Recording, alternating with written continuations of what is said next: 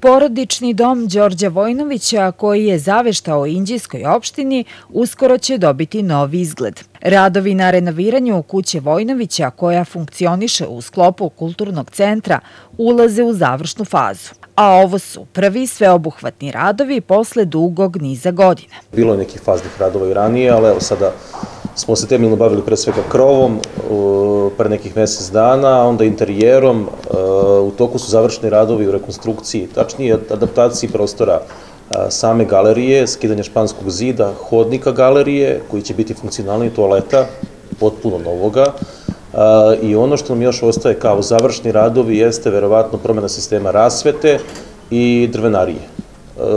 Naša dilema u ovom trenutku se kreće o tome da li drvenariju ostaviti za letnji period, kada je adekvatnije da se radi, to podrazumemo promenu ulaznih vrata i poda u galeriji ili da to nešto od toga stvari uradimo sada. Sredstva za renoviranje kuće Vojnovića obezbeđena su od Pokrajinskog sekretarijata za kulturu i informisanje i iz budžeta opštine Inđija.